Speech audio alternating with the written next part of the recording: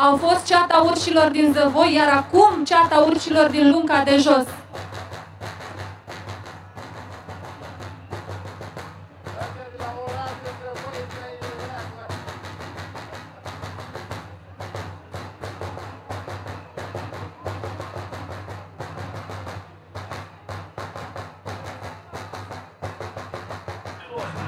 Thank you.